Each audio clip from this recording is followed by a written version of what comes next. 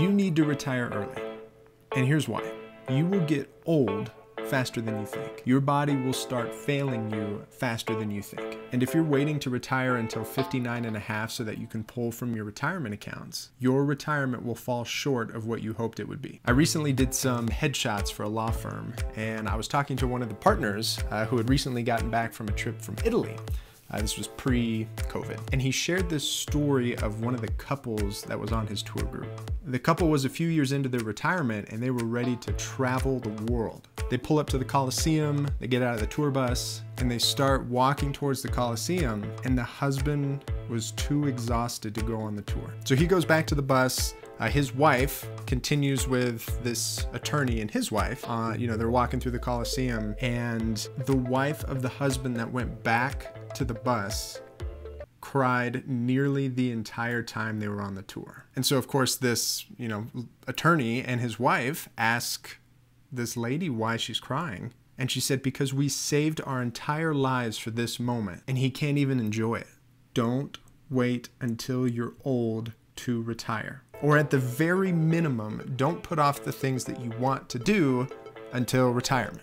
Imagine being in that position working 40 years, saving as much as you can so that when you retire, you can travel the world with your wife. And then when you finally hit that point, your body is given out on you and you can't even enjoy what you spent 40 years working towards. Man, it just like hurts my heart. But let that be your wake up call. You need to retire early. My goal is to retire by 45. And most people think I'm kidding when I say that, but it's because when you look at what 90% of people do, yeah, it's impossible to retire early. Look, if you got paid $100,000 a year for 20 years and didn't spend a single dime, you would have $2 million.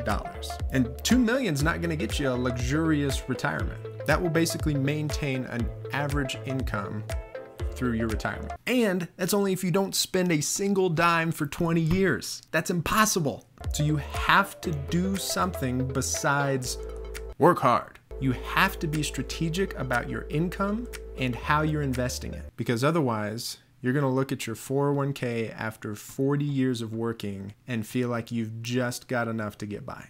And you're in your 60s, which gives you 10 years before you're 70 working your entire life to have 10 years before you're 70. Man.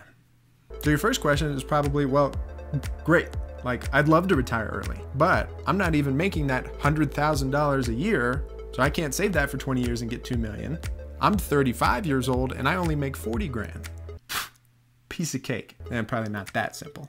But I'm going to be posting videos about my sprint towards retirement all of the moves I'm taking, all of the strategies I'm taking, benchmarks on income level at certain ages, real estate investing, stocks, crypto, the whole shebang. And so if that's interesting to you, subscribe. I'd love to have you follow along and share tips on your journey.